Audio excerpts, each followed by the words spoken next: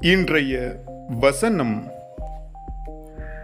M கடவுளாகிய ஆண்டவரே நீர் எமக்கு இறங்கும் வரை எம் கண்கள் உம்மையே நோக்கியிருக்கும்.